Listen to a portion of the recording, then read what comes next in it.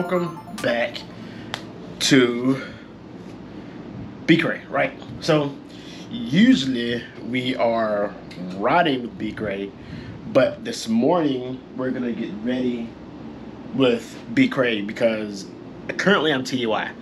And for those y'all who don't know what TDY is, TDY is I am currently um, temporary duty, temporary duty out in the state of Washington, right? Old stomping grounds, JBLM, old stomping grounds. But let's go ahead and get started. Because I just finished breakfast. So we're gonna go ahead and get started talking about my trip here. So, my trip here originally supposed to have put me here Sunday at or around two o'clock. So, let me walk you through it and then I'll tell you everything about what happened as I get dressed for work this morning. Because I had to be at work this morning at 8.30. Alright, so flight supposed to had left uh what's the name of that place? Oh, flight supposed to had left Hawaii Airport at seven o'clock in the morning. Alright. I keep moving my camera because I don't find haven't found a real good spot that I like that I like yet. Alright. Flights would have had left Hawaii at seven o'clock in the morning, right? So I was like, bet we leave early, we get there early, we leave early, we get we get here early, and then we'll go ahead and um, you know, get ourselves prepared, do some dinner, and get ourselves prepared. Now it's me and there's three other soldiers. All coming down here for class, you know? So we check in, we get out, you know, we check our bags in, the whole nine yards. And keep in mind, this is Alaska Airlines. I'm not an Alaska airline fanboy, but that's what the military put me on, so that's that. So, we get there, you know, first things first, as soon as I get to the gate, I do not have a seat on my ticket, right? Because you say, you know, it says seat, it says not available. So I go up to the counter and be like, hey, I don't got no seat. They was like, oh yeah, we know, we'll give you one when it's time to board. I was like, that's weird. But anyway, because when I paid for my ticket, it came, I, I picked a seat. I picked a window seat in the back of the, in the back of the plane, but neither here nor there. So I see my I see my three soldiers, they walk up, all of them have seats. I'm like, bruh, that's kind of it's kind of messed up, bruh. But anyway, fast forward, they give me a seat. You know, I, we board the plane. And I'm like, you know what? I'm tired. I'm just want to go to sleep. It's a five hour flight. Get a good five hours of sleep because I didn't get much sleep the night before. Because I was packing and getting everything ready, getting the house set up and everything to go. So I said I can sleep on the airplane. So I'm on it. So, you know, the plane started to taxi. You know, they did do their little, you know, this is a life vest, whatever, whatever, whatever. So I said, I'm just going to go ahead and go to sleep. So I, I went off and I went to sleep. Something said, hey, bruh, wake up. So I wake up out my sleep. As soon as I wake up out my sleep, I heard, this is your pilot speaking. Um, we have a malfunctioning light on for our landing gear, so we're gonna turn around and go back to Hawaii. I was like, what? Like, bruh, I think we was flying for like maybe an hour, maybe an hour we was flying. So he turned back, so we're heading back. You know, I can see Hawaii, whatever. And then the next thing he said, like, this is your pilot speaking again. Um, when we land, you may see some fire trucks following us. Don't worry, it's normal. It's with the, when the landing gear is out like that. We um, just in case a fire break loose, we have the fire department down. It's like oh, fire, like what the world, you know? So we land, a really rough landing, really, really, really rough landing, right? So the fire department they come up around the truck. I mean, they come up around the plane. They looking. Next thing you hear again, this is your pilot speaking. Uh, the fire department is gonna do a good search, and then they're gonna tow us back to the gate. I was like, okay, back. But he like, it wasn't really the landing legs that had issue. Is that we had a flat. so I'm like, okay, back. So we sitting there, like, that is taking a long time. So I'm like, you know what? I'll just watch football because my 49ers are playing. So I pull up my I pull up my t I pull up I pull out my phone, I pull up my YouTube TV. YouTube TV, hey. Hey, I'm your boy for endorsement. I am your boy. But anyway, um, I started watching my football as they demolish the freaking Steelers, man. They demolished the Steelers. So I'm sitting there happy, happy as on the wax. I'm like, man, my 49ers playing, they winning. Right, this is this day can't get any better, you know? So then like an hour later, it was like, hey, this is your pilot speaking again. They finished the investigation, they finished their little inspection. So now we're waiting for the tow. The tow is to the gate, and then you'll find out, you know, what's going on, what's gonna happen with your flight after that. I was like, okay, bet. but keep in mind at the same time, Alaska Airlines keep pushing um, like text message saying, hey, your flight is gonna leave at 10 o'clock, then it's gonna leave at 11 o'clock, then it's gonna leave at 12 o'clock. I'm like, where where are they getting this information from? This plane is not, this plane, I, I promise you, is not going back out. so I'm like, okay, bet. Don't worry about it.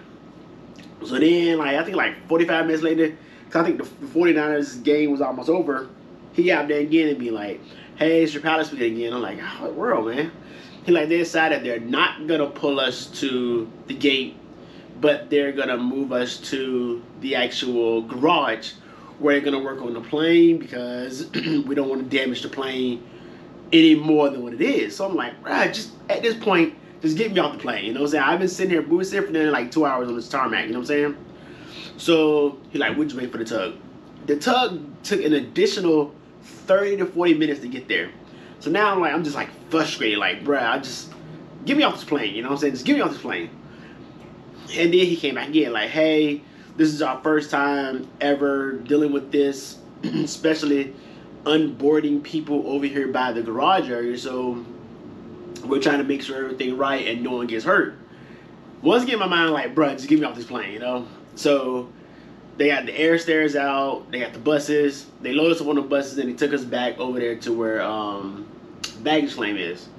And they like there will be a representative there who could um who could help y'all with y'all next flight and whatnot as you get your bags. I'm like, okay, bet. But my mind's like, why are you giving me my bags when you still gotta fly me to watch to Seattle? You see what I'm saying? You still gotta fly me there. Why are you giving me my bags?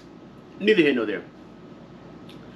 So we get our bags, and I'm like, no, I tell my soldiers, let's just go upstairs and get out and get our flight rebooked because they said it's gonna take at least 30 minutes to an hour to get our bags from the plane to um to like bag plane. So I'm like, okay, back. Uh, we're sitting there and we're trying to find we're trying to find the lady. Like we found one lady. We were like, hey, Alaska airline lady, what are you gonna do about our flight? Blah blah blah. blah. But before that even happened, we immediately get a text message from American Airlines saying like, hey, we rebooked your flight. So I'm like, bet, no problem. So it's four of us. So three out of the four of us got flights at, that our flight. They say you're, they rebooked us on a flight that leaves at eight o'clock, putting us in Seattle at like zero five thir- zero five in the morning.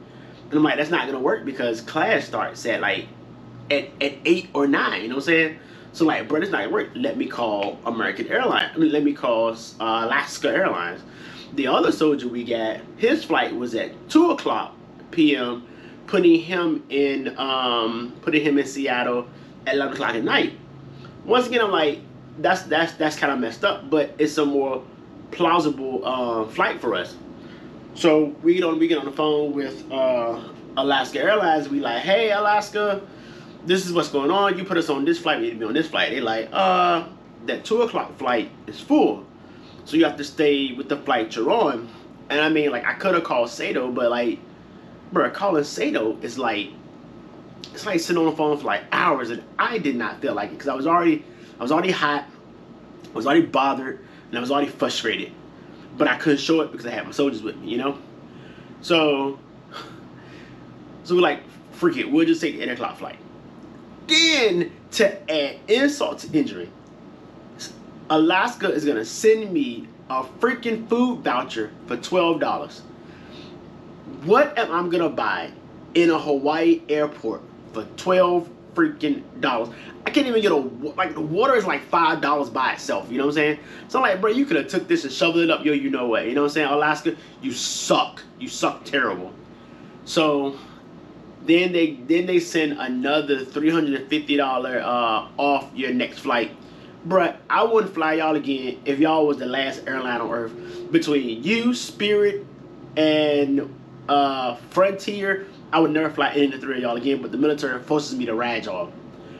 So, you know, we stay in the airport the, more, the majority of the day. But, okay, the problem was we said, let's just go ahead and check our bags because we can't go back upstairs without a boarding pass or whatever. So when you try to log in on the um the machine, to keep in mind it's only like 10, 10 a.m. in the morning now. They like you can't you can't check your bag in this early because you got you can only check your bag in four hours before your flight. So I'm like, man, this is kind of some screwed up stuff. So I I said, let's just wait in line and we'll talk to the lady.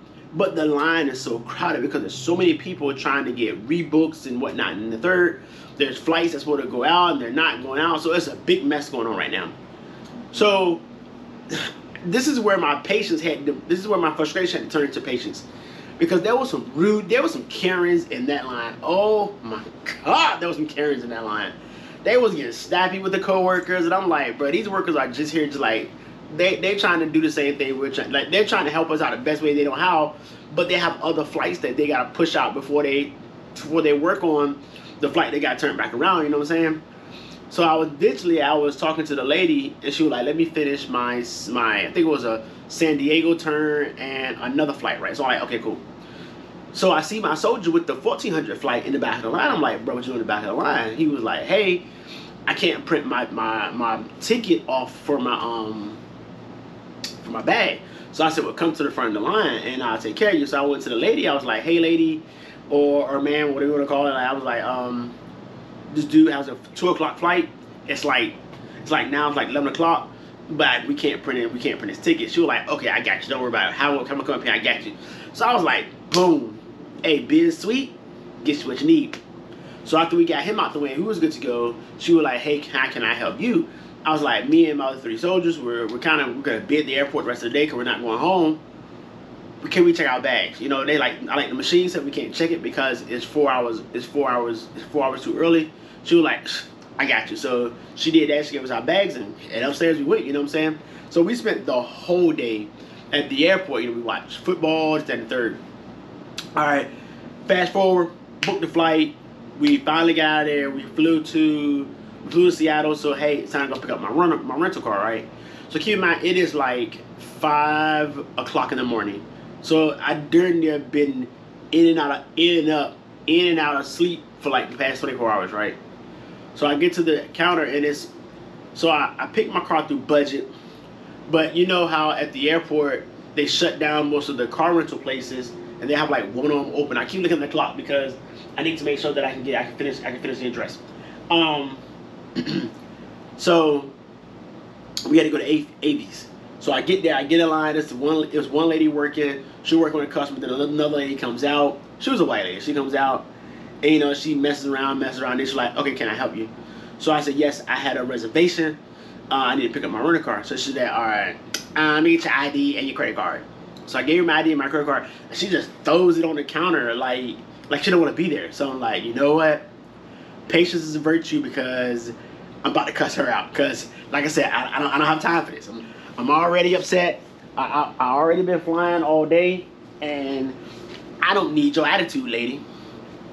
So plus I had my soldier standing beside me, so I couldn't act out, you know.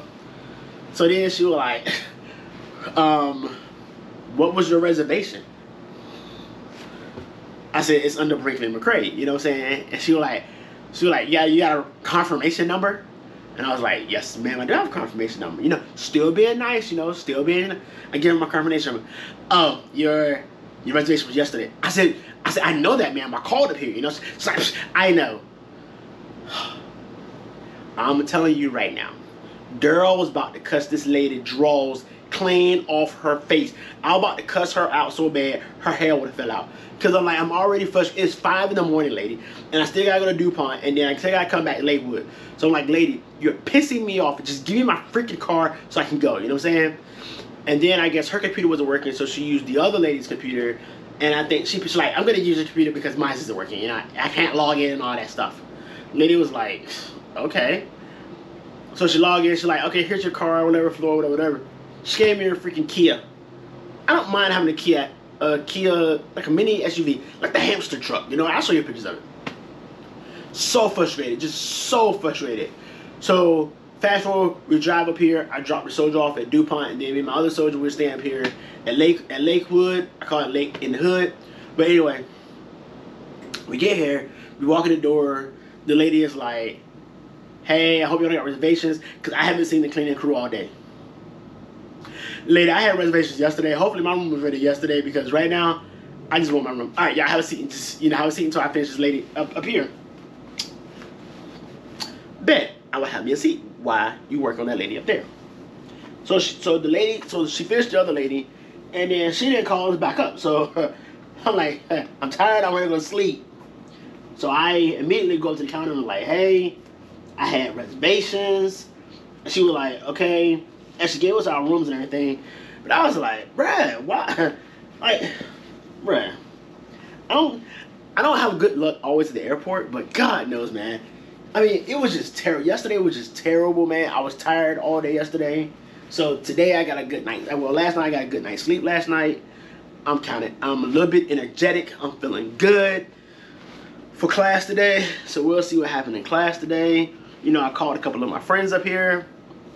Let them know I'm in town. Hopefully I can link up with them this weekend because this week is not gonna work because who, baby, it is, it is terrible. It, it has been terrible. Like, but I know, I know, it's only gonna get better. It's gonna get better because I know, um, I know that's the way things are gonna go. So it's only gonna get better. But anyway, I just want to sit down and give y'all that story time. I will give y'all a tour of the room probably, probably uh, the next video. I just don't feel like doing it right now. I'm still gotta still getting dressed for work. Gotta do my hair. You know, gotta make sure I look decent just to go sit in the security all day. That's to go sit in a room with no windows all day and do PowerPoint. But anyway, um, thanks for watching, people. Uh, thanks for getting ready with me. Uh, I will see y'all on the next video. Please like, comment, share, subscribe. And what would be a good word for the day? Um, patience. There we go. Patience. Patience is everything. Continue to be patient. Sometimes patience will get you what you want and more. And then, then you gotta know when to let loose and just cuss the draws off somebody. But I'm not gonna hold y'all up. Hey, I appreciate and love every last one of y'all. Please be safe out in these streets. I am in JBLM. I'm in Washington. If you out here in these streets, you want to hit up with, you want to get up with me, chill, whatever. Please hit me up in the comments. Until then, do not fly Alaska Airlines. They suck. They rate on the same line as Spirit and, and any other cheap airline you want to do.